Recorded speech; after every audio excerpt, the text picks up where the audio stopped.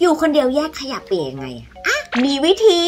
คือแพรไปเห็นคลิปของพี่ก้องกรีนกรีนเขาบอกว่าไอ้ขยะเปียกหรือเศษอาหารเนี่ยมันเป็นปัญหาใหญ่มากนะทุกคน ถ้าเราไม่แยกเนี่ยขยะที่มันรีไซเคิลได้บางอย่างเนี่ยมันอาจจะทำไม่ได้เลยด้วยซ้ำนี่ก็เลยตัดสินใจเลยว่า ต่อไปนี้เราจะไม่เทรวม แยกขยะเปียกทุกคนมันทำง่ายมาก แค่เราแบบแยกเศษอาหารใส่ถุงแค่นี้เลยอะและถ้ามีเคล็ดลับเพิ่มด้วยนะ คือถ้าสมมติว่าขยะต่อวันเราไม่เยอะ นี่ทำแบบนี้เลยทุกคน คือเราจะเอาเศษอาหารเฉพาะเนื้อไม่เอาน้ำนะทุกคน ตักมาแล้วก็ใส่ถุงหรือทับเบอร์แวร์ปิดฝาไว้แล้วก็ใส่เข้าตู้เย็นเลย แล้วก็ทำไปทุกวัน เต็มเมื่อไหร่เนี่ย เราค่อยจับยัดลงถุงแล้วก็มัดรวมให้เรียบร้อย แล้วก็ค่อยทิ้งถังขยะ แค่นี้เองมันจะทำให้เราเห็นด้ว่าขยะเปียกที่เราสร้างขึ้นมันเยอะขนาดไหน เนี่ยดูดิ 5 วันเองนะ ได้ถุงเบนเริ่มอะดังนั้นอย่าลืมกดหัวใจแล้วแชร์เรื่องนี้ออกไปนะทุกคน บอกต่อๆกันไป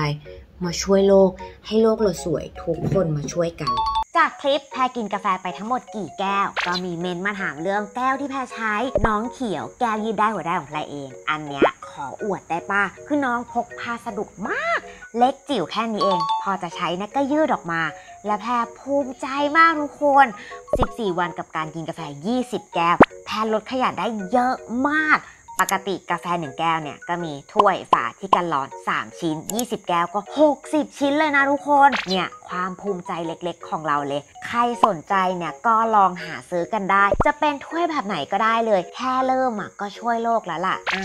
กดหัวใจกดติดตามกันด้วยนะทุกคน กดได้ยังกดได้ยัง กดเร็วเราจะได้เจอกันบ่อยๆ เนาะ ที่ออสเตรเลียไม่มี Burger King เลยแม้แต่สาขาเดียว จริงดิ จริง เนี่ยตอนไปเมลเบิร์นก็พยายามไปหาหาไม่เจอ เจอแต่นี่ Hungry Jack แล้วทุกคนดูดิ มันเหมือนกันอยู่นะ เมนูการจัดร้านและดูโลโก้คือเหมือนเป๊ะ นี่ก็เลยไปหาดูแล้วก็รู้ว่า Hungry Jack กับ Burger King คือแบรนด์เดียวกัน คือคุณแจ็คคาร์เวนเนี่ยเขาซื้อแฟรนไชส์ของ Burger King เข้ามาที่ออสเตรเลียตั้งแต่ปี 1971 แต่ตอนนั้นเนี่ยดันมีคนใช้ชื่อว่า Burger King ไปแล้วคุณณแจ็คเนี่ยเขาก็เลยต้องเปลี่ยนมาใช้คำว่า Hungry Jack แทน และทุกอย่างเนี่ยก็ดำเนินไปได้ด้วยดี จนกระทั่ง ปี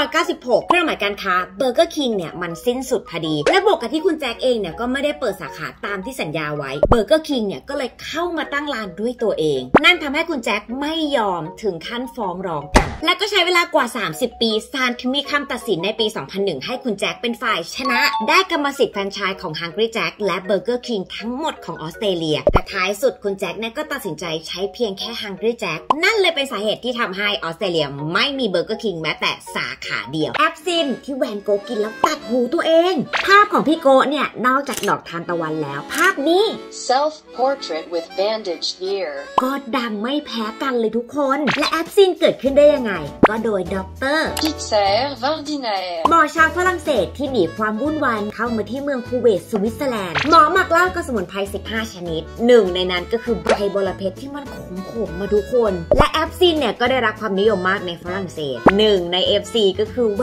นโก๊ะนี่แหละ แต่แวนโก๊ะเนี่ยถือว่าเป็นศิลปินที่มีปัญหาด้านอารมณ์ยิ่งพอพี่โก๊ะตัดหูตัวเอง คนก็เลยยิ่งเชื่อว่า absinthe เนี่ยทำให้เกิดภาวะประสาทหลอนได้ แถมในปี